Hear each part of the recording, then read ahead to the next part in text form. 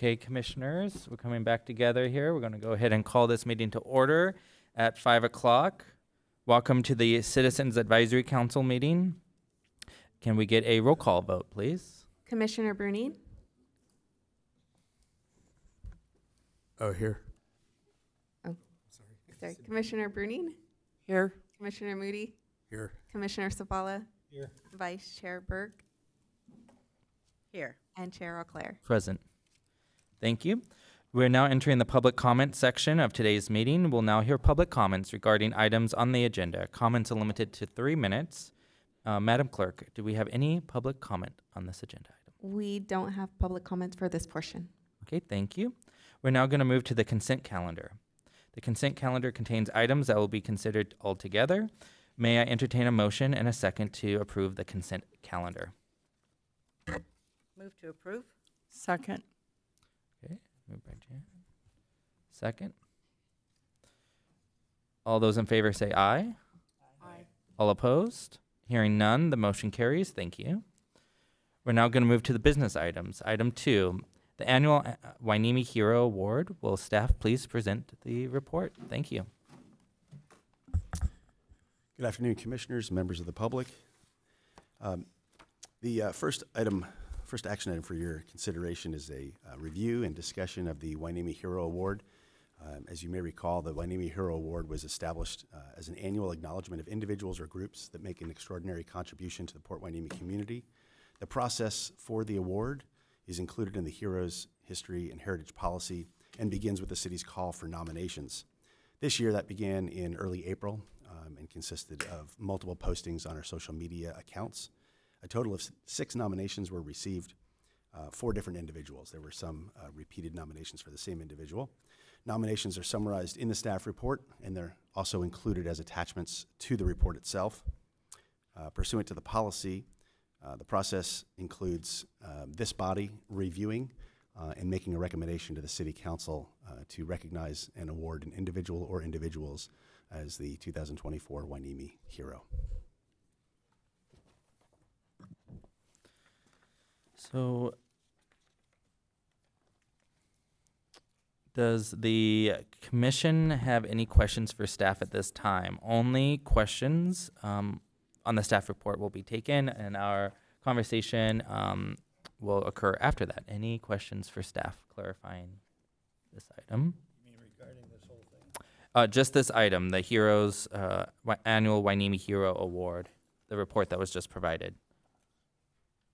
Well, I have, I'm new to this, so I'm, I'm gonna ask some questions that are not appropriate. On. I was very concerned about uh, the lack of information that's. Mr. on some of Savala, these doc- can you Yes. pull one of the microphones? Sorry, There you go, and then, thank you, that's, Commissioner. I'm sorry. Um, Since I'm not familiar with this stuff, a few things concern me, and one was the application process.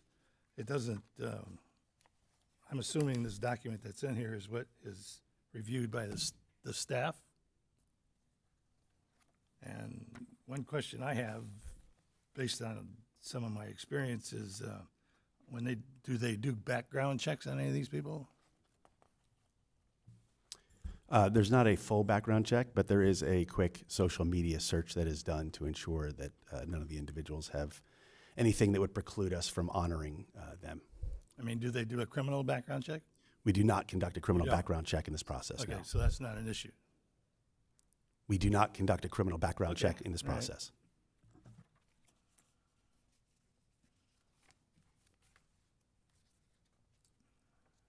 Commissioner, did you have other uh, que- questions? We can also, we- we're going to have an opportunity to ask additional questions too, once we have no, I'm public good. comment. I'm good.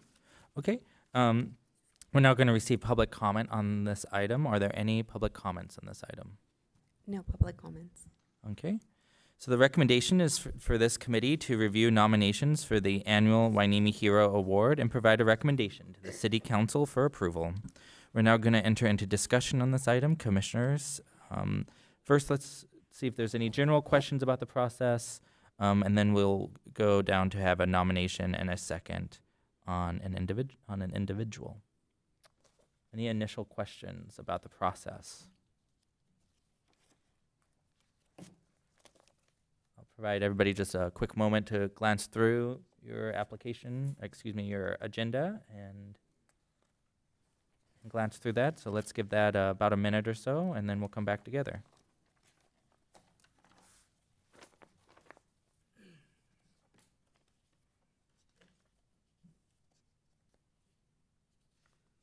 So a point of clarification that I asked a little bit earlier, so just so that we have it for the record, um, was, is this Hero Award limited to one nominee? And my understanding is no, is that correct?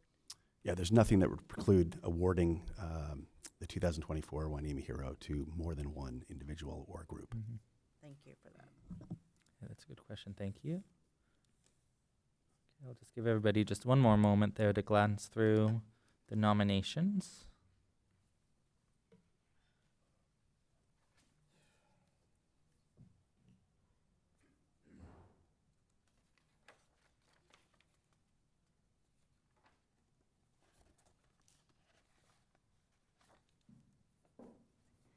Um, Mr. Leclerc? Yes. Um, we have a resident who just submitted a public comment and was wondering if you're willing to open it back up. Absolutely. So colleagues, we're going to go ahead um, and move, return to the public comments on this item. So uh, we'll have an opportunity to again review these uh, applications and discuss. But first, let's go ahead and give that resident or that individual an opportunity to discuss. Uh, Thank you. Councilmember, please go ahead. Thank you. I'm here as a resident tonight, and resident only, and I just wanted to um, share with you my experiences with both the individuals who have been nominated for this award. And if I were to have to choose between these two individuals, I would have a very hard time. I think both of them, um, I think they deserve to be honored equally, and let me tell you why. George, on the one hand, is there's three people.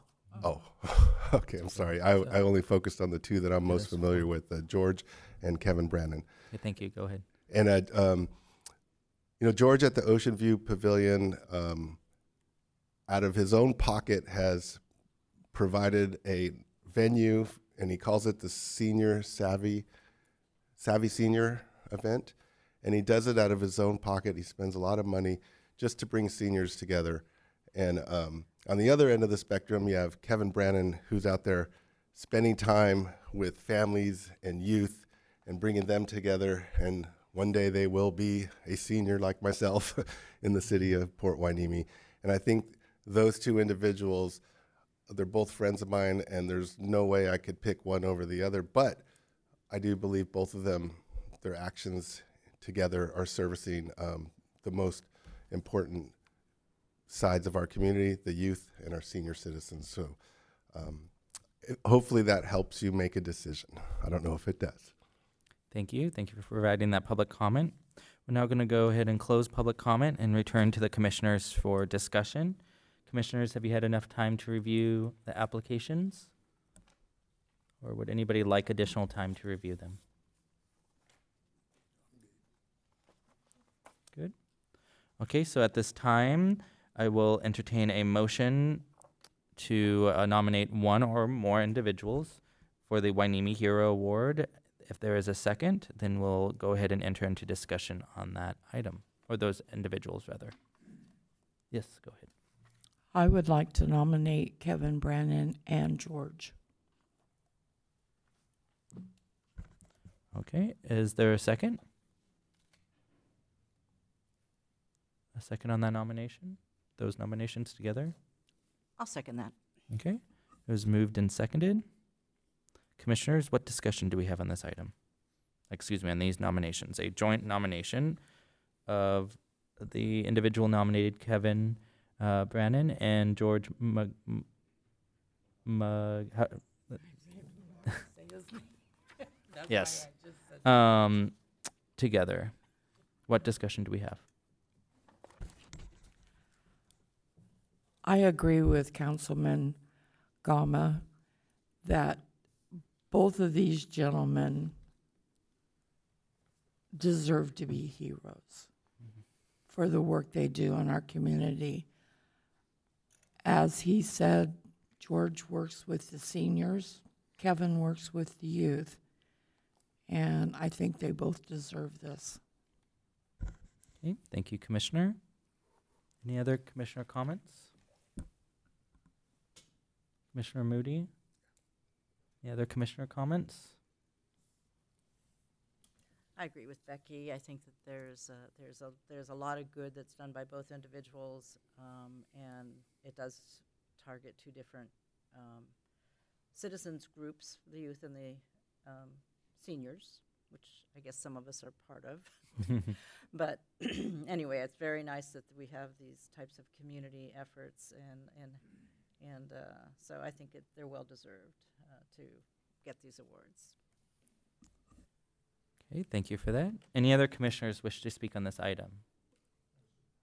Okay, it was moved and seconded. Is there a roll call, please?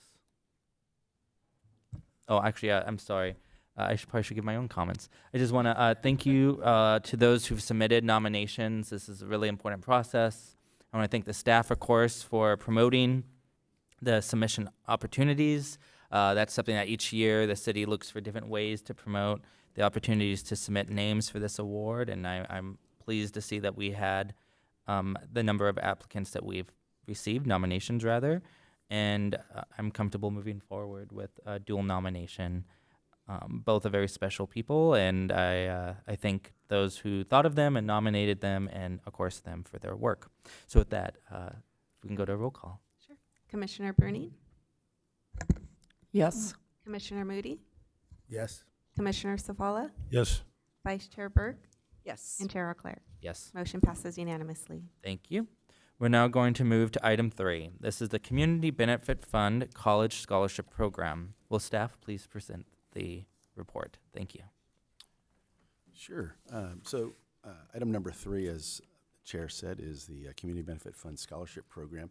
The um, 2023-24 uh, Community Benefit Fund allocations included $10,000 uh, for a college college scholarship program. As part of the approval, $8,000 was to be set aside for eight $1,000 uh, scholarships, and $2,000 was to be used uh, for a ceremony to recognize uh, those that were awarded the scholarship. Subsequent to that action, eligibility criteria was established. That includes um, the requirement to be a Port Hueneme resident, having a GPA of 3.0 or higher, um, ha- being in the possession of an acceptance letter from a college or a trade school, uh, and completing uh, the application form along with uh, transcript and proof of residency. This year, a total of four applications were received. Staff members from the port and the city reviewed the applications and made recommendations to the city manager and the executive director of the port. Uh, in the end, three individuals were awarded the scholarships. The only individual that was, was not selected uh, was uh, not a Port Hueneme resident, was excluded on, on that grounds. Um, the recognition ceremony uh, is being planned, has not been finalized yet, uh, but is tentatively scheduled for uh, July 23rd over at the Channel Islands Maritime Museum. Um, The item is presented uh, both to provide an update uh, and to provide the CAC pursuant to its comments at its last meeting, the opportunity to review the scholarship program um, and allow for discussion about the existing process uh, and um, consider and make any recommendations to the city council if it feels uh, modification to the existing process is appropriate. That concludes the staff presentation. Thank you. What questions do we have of staff of this item?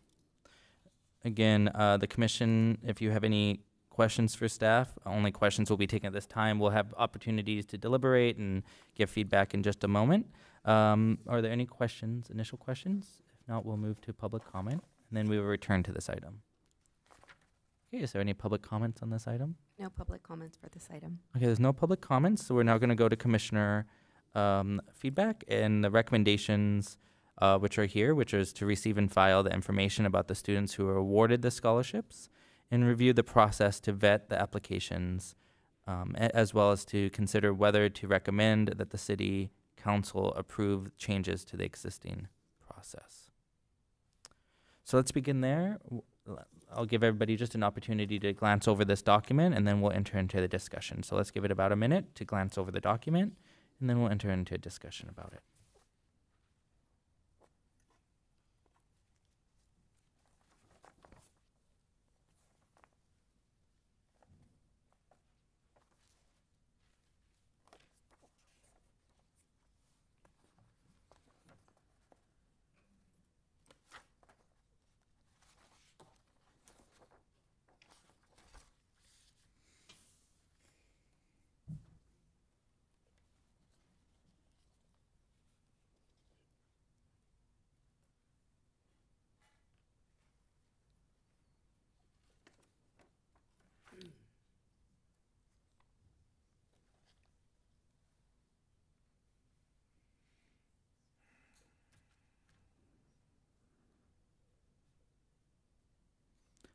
Okay, commissioners, are we still reviewing or do we want to enter into a discussion?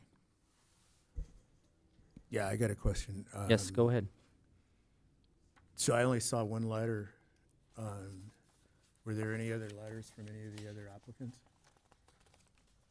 There were. The one attachment that was provided was just a, a sample. Um, Oh, The nominations have been reviewed, uh, awards have been selected, so that was the receive and file part. And then if the commission wishes to discuss the process and make a recommendation to change the process in the future, okay. that is the potential actionable part So the applicants have already been sele- selected? for this year's uh, Oh, okay, allocations, yes. okay. All right, thanks. Comments? I'll make a comment. Yeah. So, first of all, thank you, staff, and- and for putting together some uh, scholarship criteria, because there wasn't any to start Mhm. with. And I think it's a very good first start um, for us to, to, to go down this path. And I guess the big question is, is, is this going to be an ongoing uh, part of the community benefit fund? Um, And I guess that's to be determined, right? So I guess the question, I mean, I, I see the thousand dollars is a nice gift. Um, maybe it pays for books, you know, because with the cost of education is very expensive. And I think that just wonder if there is a more robust plan for the future, if we're, if we're gonna go down the scholarship program type scenario. Uh, do we want to focus on particular subject matters that, that we want to see our children focusing on? Or uh, are there some, some things like the environment or science or, or whatever it might be? There might be some topics, or maybe it's rotated with, with some different um, focus. But I think that it's a really good start, and I think that um, I'm, I'm fine with going forward with it for this year. And I guess the big question is, is if the scholarship program is going to continue, maybe we can make a little, make it a little more robust and make it more meaningful for the, for the, for the students and for, um, for the community benefit fund as well, and for the city and the students. That's all. Thank you. I think uh, Commissioner uh, Assistant Chair Burke may have answered her own question, but I just wanted to be clear for those, for those listening. The, the question of whether or not the program will continue, uh, you're, you're, you stated it absolutely correctly. It is subject to the actions of the port and the city in the future. There, there are funds remaining from the current allocation, uh, so it is our plan to uh, continue to offer scholarships with at least the remaining funds and potentially with additional funds if that's approved in the future uh, by the uh, Harbor District and the, and the City Council. Thank you. I, I just want to take the opportunity to thank the uh, Oxnard Harbor District as well as the city for doing this, right? This is kind of an innovative way of using these funds. I'm not, I don't believe the city has entered into this type of arrangement, at least in the, the most recent years. And so um, I also want to thank the staff members. You know, a lot of these staff, we don't have dedicated scholarship staff, right? Uh, this is an additional role that they, they uh, played in reviewing these applications and pulling it off. And I'm I'm excited that we were able to assist the students that were assisted.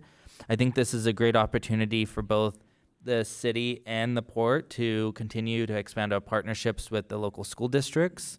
Uh, the sooner that we can, should the the uh, the joint city port commission decide that this money gets rolled over and will be used for scholarships next year, I think it'd, it'd be uh, improve our response rates to be able to get that information out to the counselors earlier, right, at the high schools. Um, certainly, I didn't hear about this until many were already in the graduation season, right? And so I think that will improve the application rates. I also would encourage us to look at some of our community orgs, right, MICOP and others, that we could sh- make sure to really intentionally share these flyers to on behalf of the city. And then finally, another key community partner here, or two rather, would be really working as closely as you can with CSU Channel Islands uh, to the best we can, as well as the Oxnard uh, College Foundation on this item. Um, college, uh, current college students, I don't believe were eligible under the current criteria, but I think that's something that certainly could be exp- expanded and would be great to additionally help current college students in our city, particularly given the possibility at least up until recent years uh, that I'm aware of, to partner with the Oxnard College Foundation, uh, who often provides matching funds and other other type of arrangements. And if we were to go to them hypothetically and say, "Hey, we have five thousand dollars we're going to invest in our community," or two thousand dollars scholarships, or one thousand dollars scholarship, can the district, can the excuse me, the Oxnard College Foundation provide matching funds? Uh, I've seen that arrangement be very fruitful. I'm involved in another organization where we've been doing this for, I think, probably 30 years with the College Foundation. Um, and so that's another way that we can invest in local students and actually see these dollars um, uh, m- multiply in magnitude. So that would be my suggestion. The Oxnard College Foundation continue to work with CSUCI, uh, reaching the, the high school counselors earlier, and then also uh, community groups uh, like MICOP and others here locally uh, to reach more, more, just more applicants. And I do feel that we should expand this program to uh, the college students as well, um, and we could possibly stick with the same the same criteria. I will say uh, there was a question that I had that should this continue, I'll send to the team that developed the application. It had to do with, I think it was something like, how has, please explain a time where citizenship and action um, has been demonstrated, or some kind of question like that. I just remember the word citizenship being used, and I'm not sure if that's would be interpreted the same by everybody. So just being clear uh, in some of those terms. Um, you know how, how do we get the widest net of applicants and um, so that would be my feedback again uh, community partners that we can get additional feedback I, I hope that we at least will be able to allocate the rollover funds from this year to next year uh, and should the commission choose excuse me the, uh, oxnard harbor district and the city uh, it'd be a great program to continue 10000 while it doesn't seem like a lot and a huge budget uh, does make a real impact in college students lives um, even the smallest scholarship so that's my feedback. Any other commissioners feedback? Yeah, I got a question on the, the pro, the application process. Um, It says a college acceptance letter or proof of enrollment in a trade school must be provided to receive funds. And then on the application, it has, uh, three, three possible choices. You know, I, I don't, I'm not clear on that, you know, I So- because, because, I mean, I, I'm a high school teacher, you know, and I know, um, are those just the three schools that she applied to, or what was, you know, what, what would be the process on that? Yeah, on the sample provided, I believe that was the case. Uh, Those are the three that uh person attended. At the time of the award, um, students uh, should be in receipt of acceptance letters, and we would just ask for uh, proof of the letter where they were actually accepted and plan to attend. Okay, thank you. Any other questions or feedback about this process?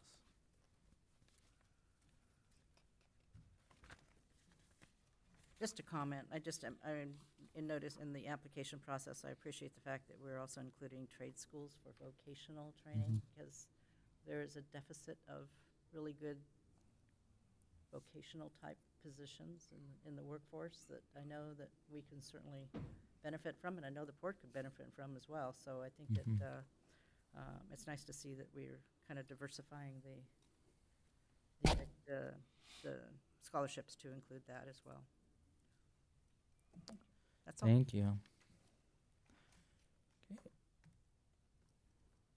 And again, I, I do just want to really thank Brian. I know Adam Adam's here. I don't know if Brian's here, but I just want to thank you all for your work uh, as the staff members on this and really having a, it's a tight turnaround to launch a scholarship program, review the get the applications, review the applications, and award them, and then have the event in July. That's that's a fast turnaround. I somebody who came from academia, uh, that is that's fast, um, and so that's impressive. I appreciate your words, uh, and yeah, Adam and, and Brian did a fantastic job, and I think we all also appreciate your comment about um, getting the word out earlier. Um, I think with the program now in place, it'll make it that much easier for us to promote the program earlier uh, and likely get a wider array of applicants next next go round. Absolutely, and you know, and in that outreach package, Uh, needless to say, uh, we have lots of marketing experts in the room uh, that do very good jobs marketing the city and the port. But I think it's also a great opportunity to showcase, hey, when you go get that college degree or that uh, career tech degree, come back, stay here, stay in Port, in Port Hueneme, stay work or come and please work for the port of Hueneme. Um, I think this is another great opportunity for us to reach those youth and just remind them that there's opportunities here as well. So with that, is there any other items? Any other questions for staff? If not, we'll, Before we move on, I just wanted to um, say again, I- I appreciate your, your comments. Um, If a majority of the commission um, wished to uh, move that forward to council, we would just require a motion for that. Um, Otherwise, we can move on to the next item, whatever your pleasure. is the commission comfortable with those recommendations? Okay, is there a second? Second. Okay. There was uh, a motion and a second. All those in favor say aye. Aye. All those opposed? Hearing none, the motion carried, and now just, the motion was just the bullet points of feedback. Thank you. We're get- now going to move to the Community Benefit Fund allocation process. Will staff please present the report? Okay, uh, so the, the last item on today's agenda um, is intended to provide um, uh, Commission uh, the opportunity to review the process by which the city goes about uh, reviewing and making recommendations for Community Benefit Fund allocations. In order to do that, I wanted to provide a, a quick background about the fund's establishment, the criteria for project selection, and a summary of the project and review process. So the Community Benefit Fund was created as one element of a 2015 settlement agreement between the city and the port. Um, As reviewed briefly in the staff report, each year, um, the port uh, deposits $100,000 into the Community Benefit Fund when its gross operating revenues exceed $13 million. Uh, Both the amount of the allocation in the Community Benefit Fund and the threshold of gross revenues are subject to escalation annually by the Consumer Price Index. The first two years that the fund was created, um, uh, fiscal year 14, 15, and 15, 16, uh, the city had uh, autonomy to review and select projects at its sole discretion. After that, beginning with uh, fiscal year 16, 17, uh, projects were to be mutually agreed upon by both the city and the port. To facilitate reaching that mutual agreement, the settlement agreement calls for the establishment of a joint city-port committee that consists of two representatives from each of the legislative bodies, along with the city manager and the executive director of the Oxnard Harbor District. Uh, The committee collaborates regarding project ideas um, and seeks to find collaboration, uh, which would then be presented to and subject to the approval of both of the legislative bodies. We do have a provision in the agreement, in the event for three successive years, uh, if both parties are unable to reach agreement, um, funds available would be divided 50% to each party, and uh, each body would have the ability to uh, select uh, projects without uh, mutual agreement. Uh, The agreement does call for the establishment of four separate categories that projects are to fall into. They are included in the staff report as well as the attachment. They are shoreline protection, community development, opportunistic endeavors, and the final um, kind of catch-all project, the other projects as agreed to by both parties. So the city's process um, begins with uh, currently the council's review and establishment of a preliminary list of project ideas. That list is then presented to this body, the Citizen Advisory Commission, for review and input. Uh, Those ideas uh, are then provided to representatives of the Joint uh, City Port Committee. The Joint City Port Committee meets, sometimes multiple meetings are required. And at some point, hopefully, a revised list that is um, agreeable to that group is returned to both the Board of Harbor Commissioners and to the City Council. The last uh, CAC meeting, the commission expressed an interest in reviewing the process, uh, considering potential amendments to the process. So pursuant to that, staff developed a proposed revised process for your review, comment, um, and that process, very briefly, would begin with a city's call for projects. Uh, we're proposing that that would start um, with a process whereby we do outreach uh, to interested members of the community and ask for submissions uh, for project uh, requests for funding allocation by March 15th. Um, From that, staff would review the submissions uh, for alignment with the terms of the Community Benefit Fund, most specifically alignment with the four categories that are established. Um, It would then uh, develop and present a report again to this body. The feedback from the Citizen Advisory Commission would then be presented um, to the council. Uh, The council would review, consider, provide their own input, and provide direction to the representatives of the Joint City Port Committee. The rest of the process would be similar to the existing. That group would get together uh, with the representatives from the port. Those bodies would discuss, ultimately, uh, with the uh, expectation of reaching a consensus, the revised list would be returned to both of the legislative bodies for final action. So as noted, the purpose of this is to explain the existing process, um, introduce a potential new revised process, and allow for uh, this body to uh, weigh in and provide comment. Before turning it over to the Citizen Advisory uh, Commission, I wanted to let you know that our colleagues at the port um, have prepared a, a presentation and have asked for a few minutes uh, to provide um, a history uh, from the port's perspective and provide a presentation. So I wanted to allow them the opportunity to do that before um, questions and discussion. Okay, thank you very much. We will, if it's a- amendable, or amendable, that's not what I was about to say. Agreeable, yes, there you go, let's go with that one. Um, to the commission, we'll now go ahead and hear from the, uh, from the Port of Hueneme. Uh, and thank you for your willingness to present and provide additional context to the commission before we consider this item. So we'll hear that presentation, we'll then go to public comment, and then we will return uh, to the CAC commissioners for discussion. Thank you so much, and again, thank you to the, uh, I know we have two port commissioners here and other wonderful staff, so I look forward to hearing about the Harbor District and from the port. Thank you. Uh, Good afternoon, Mr. Chair, distinguished members of the Citizens Advisory Committee. It's a privilege to be here this afternoon, and we're here just for pure factual purposes to give some background on the CBF and how it came to be. And I think Charles did a wonderful job um, outlining it, so we may just add a little color to it. Um, For those of you that don't know me, my name is Kristen Decas, and I'm the CEO and Port Director for the Port. And with me is um, Ruben Duran, who is our legal counsel and had a lot to do with the crafting of the CBF, should there be any technical or legal questions regarding the CBF fund, and he has a couple slides he'll share. Um, we went on a trip with CBF money to Washington with the city leadership and commission leadership, and this was our slogan throughout that visit: "There is no commerce without community, and there is no community with commerce um, without commerce." And that's kind of the spirit of this whole community benefit is bringing um, mutual benefit to the port, to commerce, the city.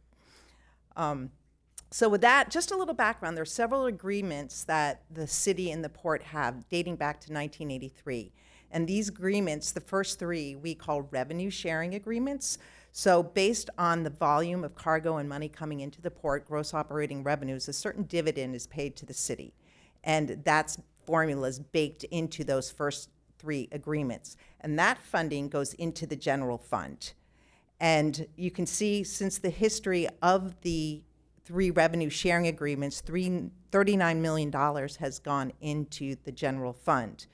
This year, we're estimating about $2.9 million going into the general fund, and in recent conversations at Port City meetings, it's our understanding that about 1.5 million of that funding will be allocated to support police services, and then the balance of 1.4 million approximately will go into road maintenance, repairs, and upgrades. So that's our understanding of, of investments with those three.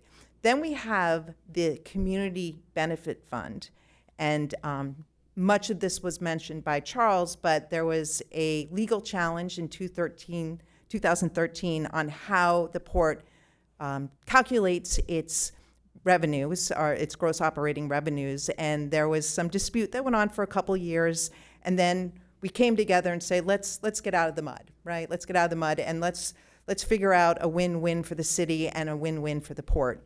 And two things happened as part of this settlement agreement to end the lawsuits happened. One was that um, if we earn more than $13 million in revenues at the port, we will put $100,000 into the community benefit fund. There was also a piece of property that was leased to the city at the end of the port that was going to come back into port's ownership when the contracts expire in 2034. And we agreed to end that lease early and pay a million dollars to the city to do that, which was very strategic at the time because the city had economic hardship and was facing a, a, quite a bit of a deficit. So it kind of closed that gap for the city and then gave an important piece of property back to the port for cargo operations, which at the end of the day, the more business we do, actually, the more the city will receive in these revenue sharing um, uh, dollars. So then we established the community benefit fund and the thinking of that just so you understand the spirit and the intent you know we did have two years of rather tense um, relations between the city and the port and we really wanted to bring closure to that and bring in a spirit of collaboration and partnership where the leadership from the city would convene with the leadership um, from the port to come up with ways to make investments in the community that would be strategic that would be of mutual benefit and get the two parties really working together and have optimism as opposed to having, you know, fighting, frankly. You know, let's get together and do good things working together. And that was the true spirit of how the CBF came to be. And with that, we have to date done about a um, million dollars in projects through CBF funding. And I think at this point, I'm going to turn it over to Ruben just to give a little bit of the legal lens, and then I'll share where precisely we are on CBF process um, this fiscal year. Thank you, Kristen. Mr. Chair, members of the committee, uh, it's my honor to be here tonight to address you. Thank you for taking the time. Mr. Deputy City Manager, thank you for the, the very clear um, and accurate description of what the agreement provides for. Um, I won't, I won't uh, duplicate m- any of that, I hope. Um, there, there's just one or two items I do want to uh, point out that are specific to the port's responsibilities under the settlement agreement uh, with respect to the CBF. The first is that the port actually creates the, the fund as a separate internal fund. That money is segregated for the purposes that we've all been discussing here.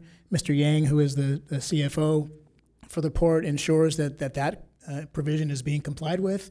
That is an interest bearing account so that, as the deputy city manager described earlier, if there some time goes by where the, the parties can't agree on where that money should be spent and it accrues for three years, then each party gets to spend it. You get the benefit of having earned the interest, and so does the port.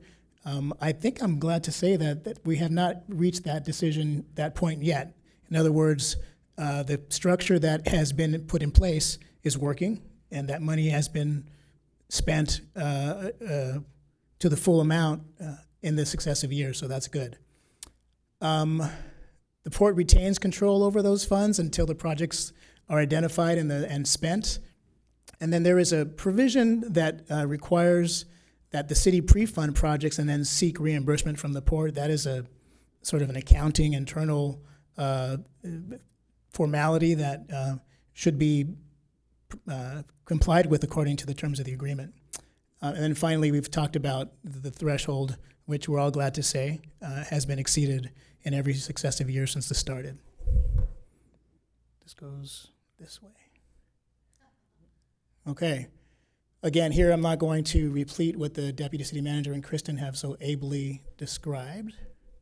Um, there is, there are two special uh, instances. Again, I do not believe that either of these provisions have been triggered, but in the event that the parties, that is the city and the port, want to uh, fund a project that's going to exceed one fiscal year, there's a special pro- uh, provision where you can do a multiple year project um, it requires that the parties enter into an additional agreement as an addendum to the settlement agreement, identifying the project and basically saying, look, we promise to, uh, to, to play nice and make sure this project gets funded uh, beyond the original year in which those funds are provided into the fund.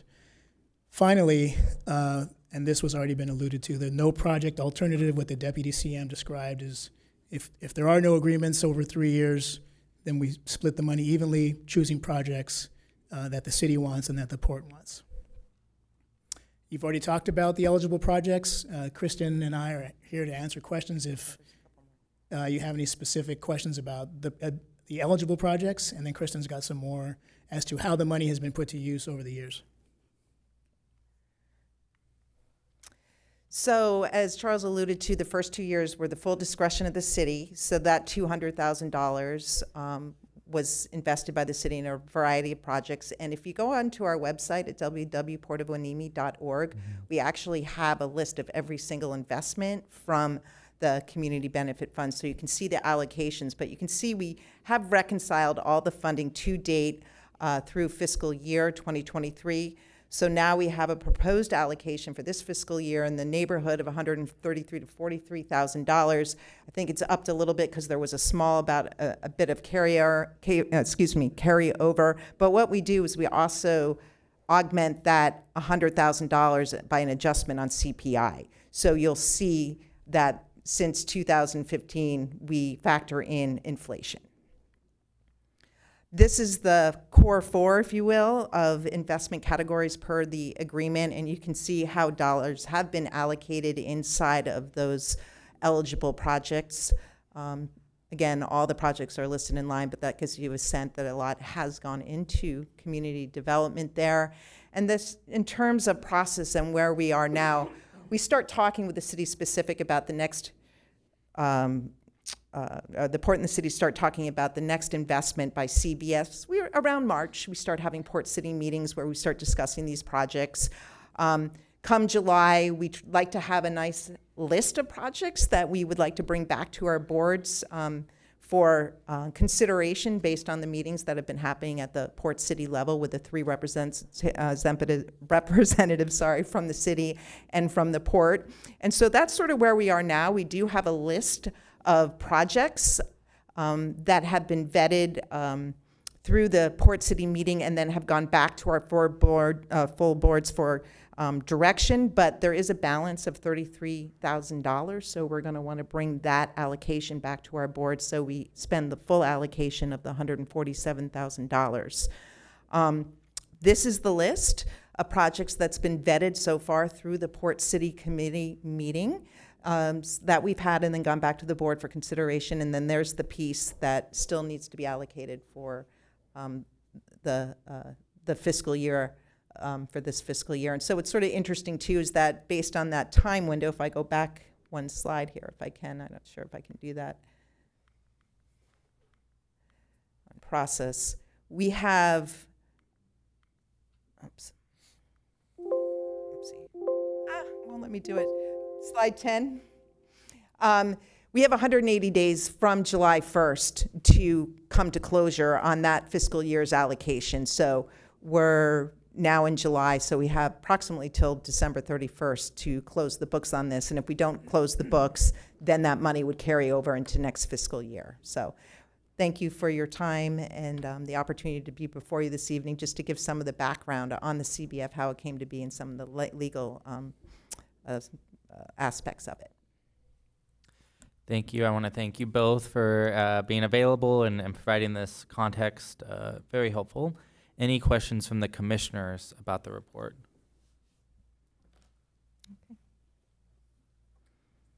Just one question.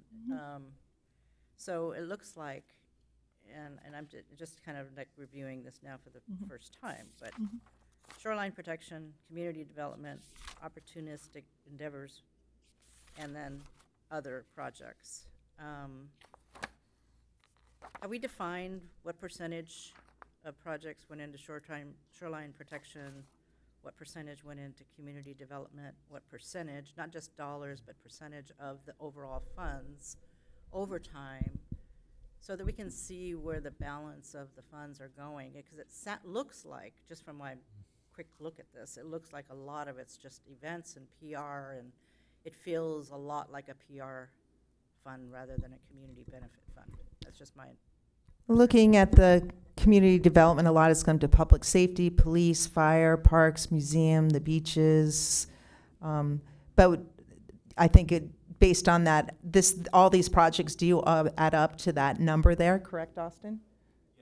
So that you could easily do the math, um, if it's the, to, to get those percentages.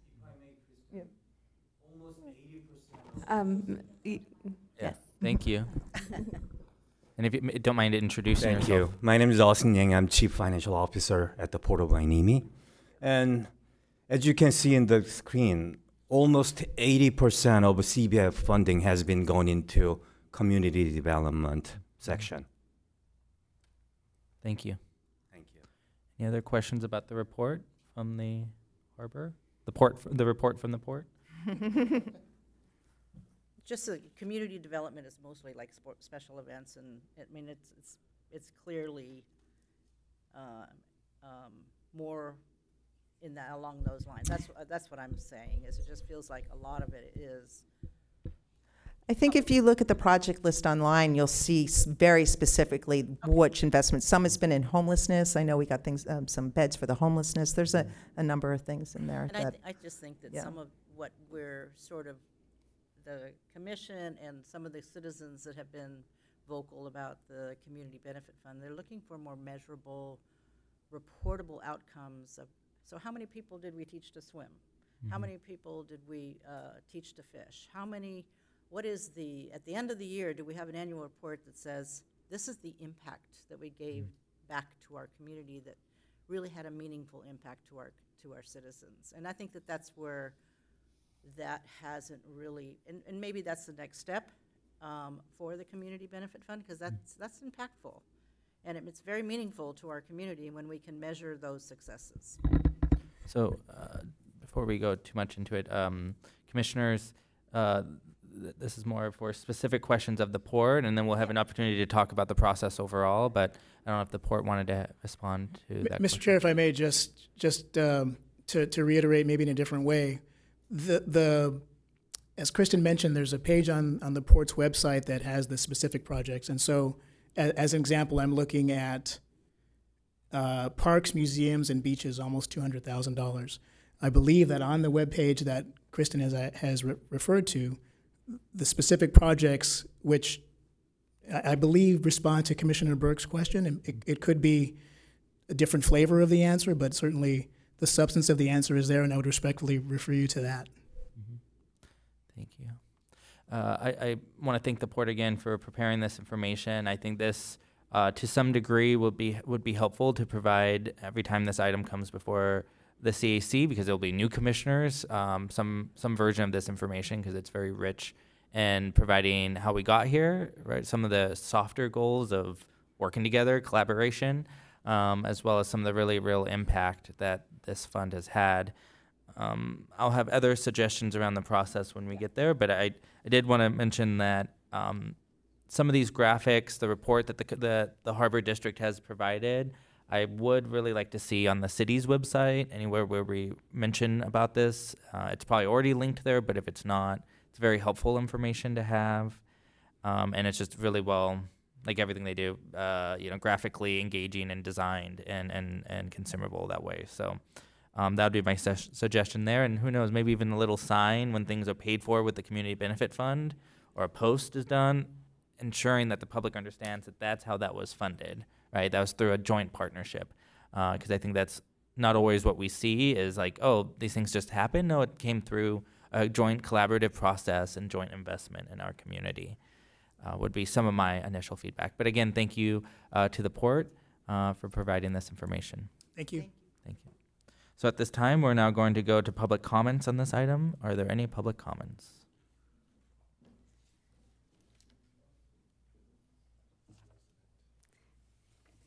Um, I have one in-person comment and one written comment. I will take the in-person comment first from Mr. Stephen Gama.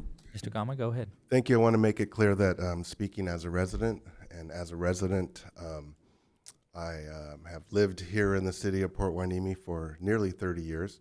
And um, as a resident, I can uh, hear the goings on at the port from my backyard. And um, I'm one of the persons that live in very close proximity to the port of Hueneme in the city of Port Hueneme.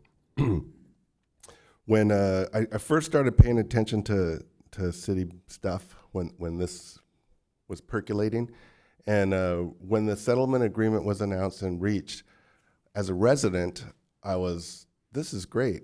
This is going to benefit the residents of the city of Port Hueneme. And while probably most of, if not the majority of these funds do benefit the residents of the city of Port Hueneme. And the settlement agreement which created this fund um, was between the city of Port Hueneme and the Oxnard Harbor Commission. And so sometimes um, these funds spill over into Oxnard, which is the broader community. Um, but as a resident, um, at the time when this was um, announced or made public, it seemed that it was being championed as to benefit the city of Port Hueneme. The community benefit is for the city of Port Hueneme. And so I think perhaps maybe the translation or the reality has altered a bit. Um, I know, I don't know what the intention was originally. Was it to keep the funds within the city of Port Hueneme?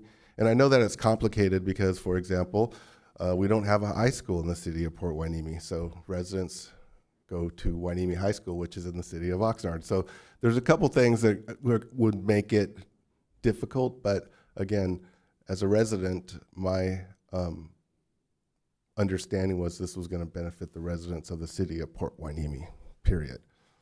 I may be mistaken, but that's it. Thank you, Mr. Gama. And the written public comment. Uh, Dear Commissioners and staff, thank you for your timely review of the Community Benefit Fund process. I would like to recommend some additions, all having to do with adding deadlines, even with the assumption that delays will happen due to council or commissioner availability. Staff has developed some steps in the process, starting with step one. The city will issue an announcement regarding the CBF and advertise applications with the deadline of March fifteenth. Under step two, the city staff will review funding requests for alignment with CBF categories and present a report at a public meeting of the CAC for recommendations. I am asking that a timeline or deadline be included here. How long after the March fifteenth application deadline will this review take place?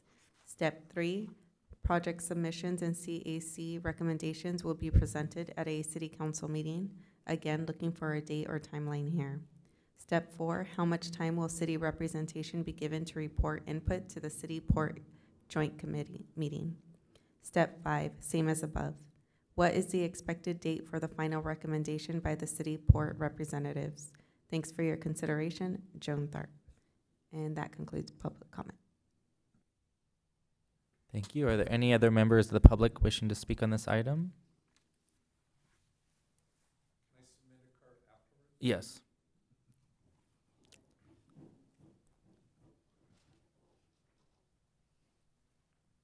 So, uh, Tom King, Port Hueneme, uh, committee members, staff, and the port and port commissioners. Uh, First, I really want to say thank you in regards to the pivot that was made, and I want to make it uh, clear uh, regarding the location of the memorial, the Bard Memorial. Um, So, thank you.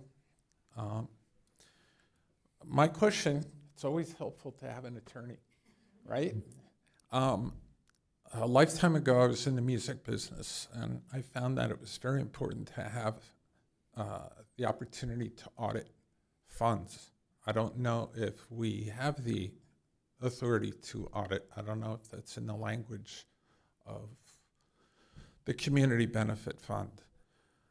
Um, and, and then really more recently, as it relates, unfortunately, to the uh, memorial, is that I don't know, uh, I know that the, I believe that the port and the city voted to uh, move forward with a like four or five um, monument project.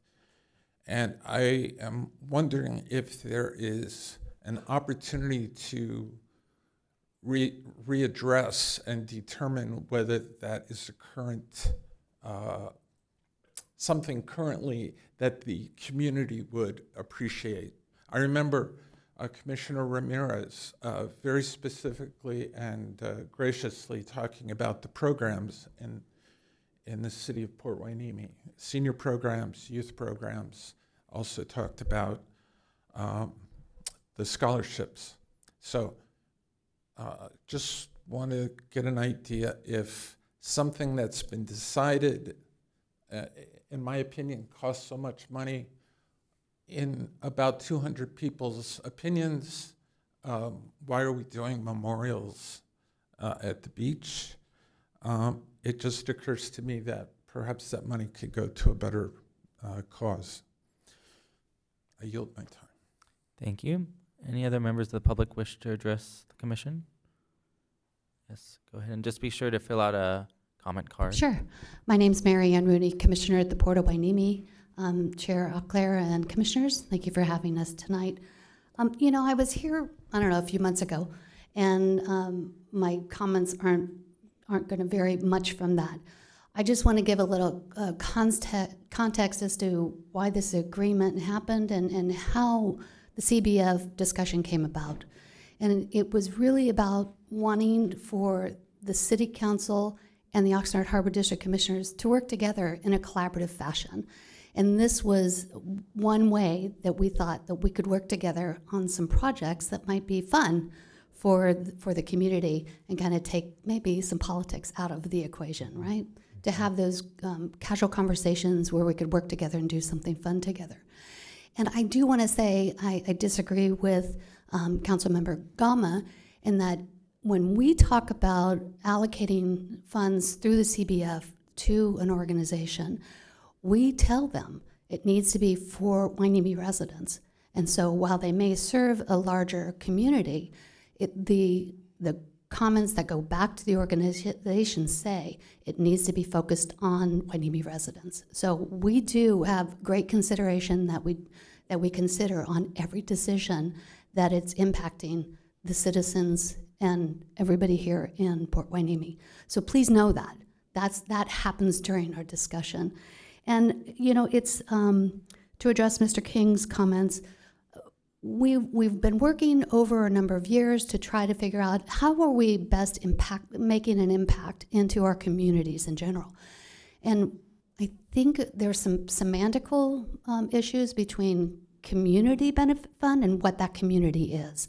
And so, what was the intent of this agreement was for the city and the Oxnard Harbor District in order to come to work together. That's the community we talk about and how we make that impact. And I think we've also strayed a little bit off course in in moving into supporting just organizations, organizations rather than the terms projects. And that was kind of the idea is that we do one or two large projects that make that impact that you talked about. And I, I think you're spot on. And I think we should put that in our report that we do every year. What's the impact? And that's where I think that if we look at larger projects that we can do together to make a deeper impact, um, I think would serve both agencies a little bit better. So thank you for the opportunity to speak tonight. Thank you. Any other members of the public wish to address the board? Please come on up and then, yeah, please come up and then complete a, a card once you've finished your remarks.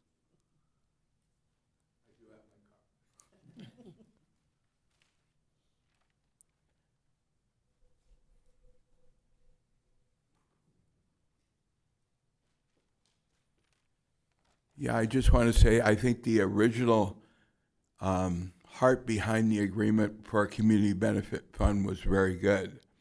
I think both the city council at that time and the residents felt that, truth, this was a, com- a Port Hueneme community benefit fund, and that all projects funding would go to things that the general public could appreciate and be a part of. Um, one of the um, ideas that have come up as far as um, expanding the process to get truly community input as to what really they would like to see is very important. I think probably, maybe with the best intentions, um, the, the city council and the port came up with things that they thought were perhaps of best interest to the community. Uh, sometimes that wasn't the case. Um, I, if we do benefit organizations in the future, because these organizations also provide direct benefit to the citizens, they can live and feel and see those benefits. I think they have to be organizations where uh, we talked about accountability, where we can see that actual residents or actual or um, uh, improvements of our Port Hueneme community can be seen. I like the idea of uh, Mr. O'Clair as far as like making sure that the community knows that. I know that was one of the things that I pushed so that if we build a uh, um, a facility that kids benefit by or that we develop a program that seniors benefit by that we see that why that happened. Um, I, uh, as I say, like I think in the spirit of it, these um, the port does a really great job about providing um, benefits to the entire county, which they uh, actually benefit from that, and the, the entire county benefits. But this small amount, which seems like a lot, but a hundred thousand, I think should be directly concentrated towards organizations, programs, events, facilities that the community will be able to see and, and, and benefit from it every day. And um, um, larger projects that uh, I think were mentioned, those too, if like the community can directly see that we built a road safety device that everybody benefits by, that's a good thing because people see that and they feel benefit. Uh, I'll reiterate, I was not a, um, when I was on council, I was not in favor of having monuments because while monuments may be nice, I don't see the day-to-day citizens on this small amount being spent for that type of thing. Thank you. Thank you, council member. Any, any other members of the public wish to address the commission? Okay, hearing none, we are going to return it to the commission. Are there questions of staff at this time? Let's give everybody a, all the commissioners just a moment to reflect on the public comments we've heard, the uh, PowerPoint that we received and, and remarks we received. Um, so let's just take a moment to reflect on that, take a look at what's in your packet, and then we'll return together.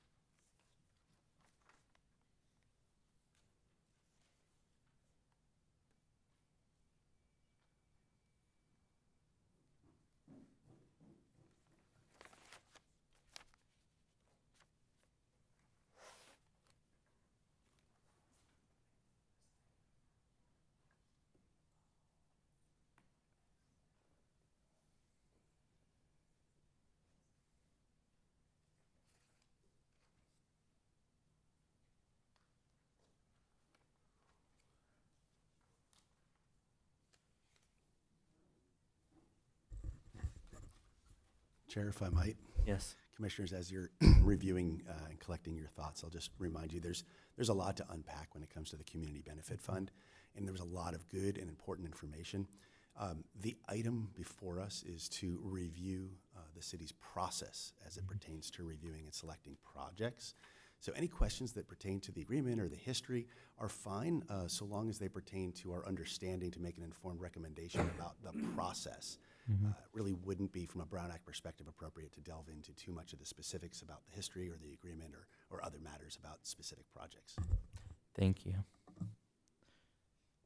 Yeah, I like to see this. Essentially, it's how does the city show up in that room? Is that correct? Okay. How are the commissioners doing? Do we need an additional minute to look over this and reflect? Okay, so let's come back together. What initial thoughts do we have? Um, again, the recommendation before us is to recommend to the city council, um, make a recommendation rather to the city council re- regarding the process to which, in which they review and select projects for the allocation from the community benefit fund. What discussion is there among the commissioners? Who would like to kick us off?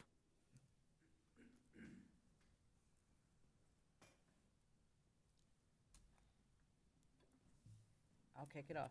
Okay, go ahead, Vice Chair. Um, First, staff, thank you for putting together the process. I think you did a very nice job in giving it a first stab. I think that Joan Tharp's comments are, are good because of the timeline is an important piece of that. And that, and that can come later. But I think that I think that you captured all the points that we discussed at the last meeting, and I think that it's a good step forward um, in trying to reverse the, the process to get our community to, to come forward with important projects for organizations or important projects for our city and that can benefit the city and the port, and um, to have a meaningful impact. And it's very hard for commissioners and city council members to come and come up with ideas off the top of their head. And it, then it also can be perceived as a pet project for someone, and we don't want that perception. We want to make sure that it's, it's, it's, uh, it's meaningful and the citizens feel like they're a part of this process and they, and the organizations that apply can come to us with, with a with a funding request with measurable outcomes that, at the end of the day, we know we're, as, as, uh, as Commissioner Sevilla had mentioned, is how many kids do we teach to swim to, so that they didn't drown, right? And we live on a beach and so many children don't know how to swim. Things like that that, that do have a very profound impact on, on the lives of our children and our, and our communities. So I think that, um, I think that this is a great process. It's a good step. There doesn't mean that there might be some massaging of the process in the future, but I think it's a, a great step forward in rebooting potential process that might be more beneficial for the, for the community benefit fund that makes it feel more like a community benefit fund rather than a community PR fund. So Commissioner, then you, you are supporting the, the Yes. staff recommendation? Yes, so that's my, not, my, I put forward the motion to approve the process. I'll Okay. second. Okay, it's been moved and seconded. Now let's go into discussion. Again, this is on the staff recommendation. What comments do we have? I'll save everybody. I know I have like six pages, but I won't go into all of them. Now, um, can I pull, do you mind if we pull up the presentation from the port again? I have my TED talk here now. Um, let's go, uh, scroll down a little bit. I think it's near the end.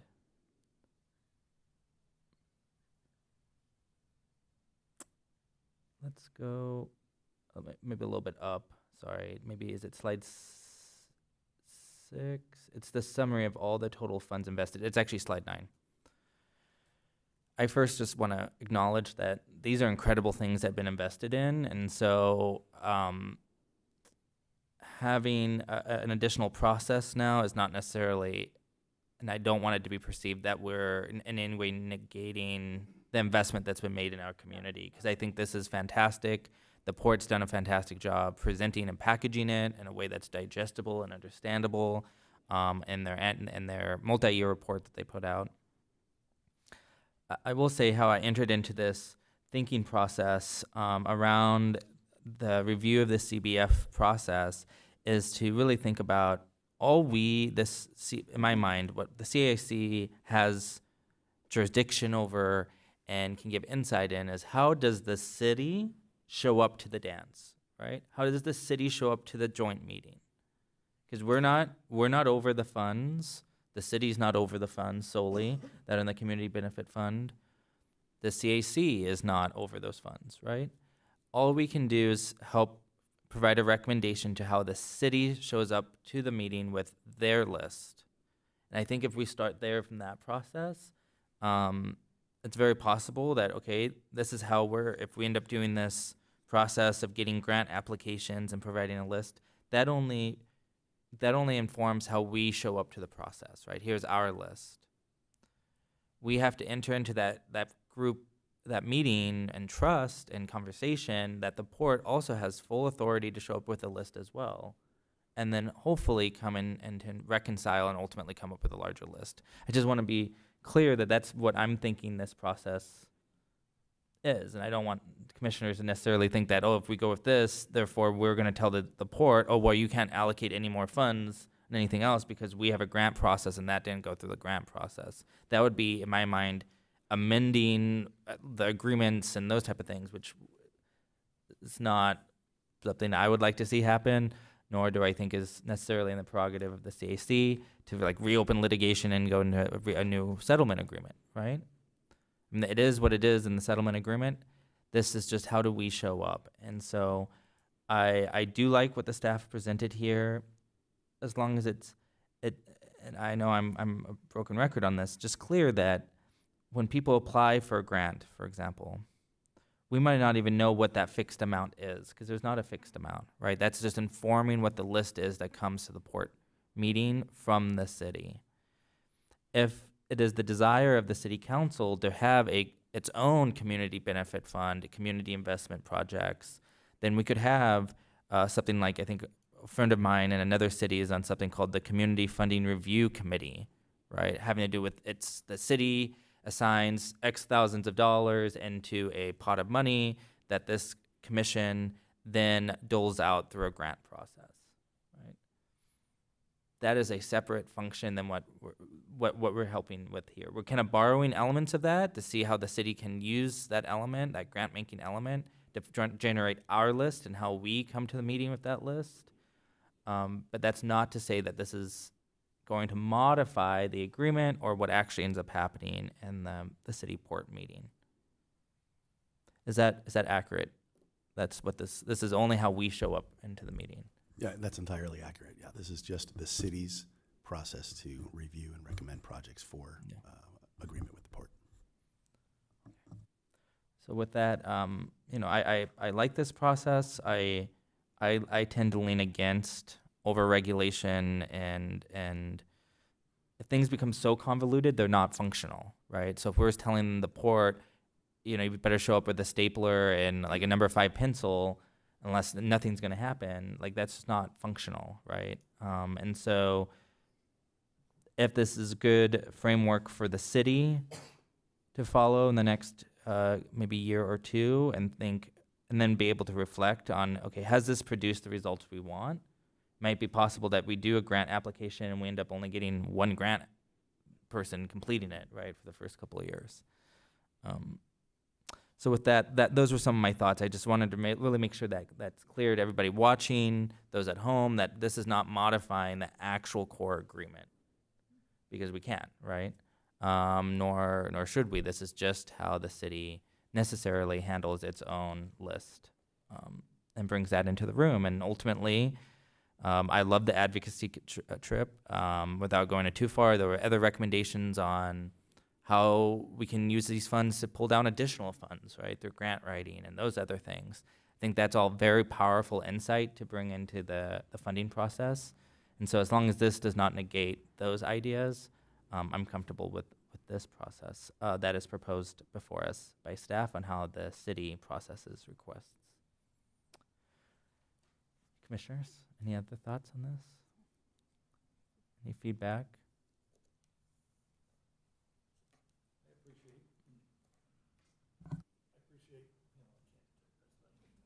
I appreciate all the information that made things a little bit more clear, and I support it also. Okay, commissioners, is there any more discussion on this item? Okay, is there, I believe there was a motion in a second, but we'll go back and do that maybe, or you have it recorded? Yes, we Okay. have Vice Chair making the motion and Commissioner Bruni seconding. Seconded. Okay, it's been moved and seconded to um, recommend the, to support the staff recommendations that will then go forward to council on the process for the CBF project review uh, process. All those in favor say aye. Aye. Any opposed? Okay, hearing none, the motion passes and is agreed to. Are there any staff comments? Oh, we're moving to the next item, staff comments. Are there any staff comments? Okay, are there, oh, No, None? I was just going to formally say, no, we, there are no staff comments. okay, we're in the home stretch here, y'all. Any commissioner comments? Okay, I just want to thank everybody who enjoyed hopefully a safe Fourth of July um, here in our city, I, um, as well as in June celebrated Juneteenth and and Pride, uh, along with our neighbors in Oxnard. And so thank you for that, and to another wonderful firework display over in the Oxnard Harbor um, area was just um, fantastic. Excuse me, the Channel Islands Harbor was just fantastic. So with that, any other commissioner comments? I just wanted to say the same. Happy Independence Day to everyone, and it was a, a, a lovely weekend, a little foggy, but it was, it was a nice weekend overall. Summer is here, thank goodness. And thank you, staff, for all the work you put into this. Appreciate it very much. Thank you. Thank you. And I too want to thank our staff and, of course, the port staff and commissioners to, for making it here. This is all on, on top of your normal day, and you've spent another hour and a half with us. So, um, thank you. This meeting is adjourned. The next regular meeting of the Citizen Advisory Commission is scheduled for Monday, October 14th, 2024 at 4 p.m. The meeting is adjourned now at 6:16 p.m. Thank you.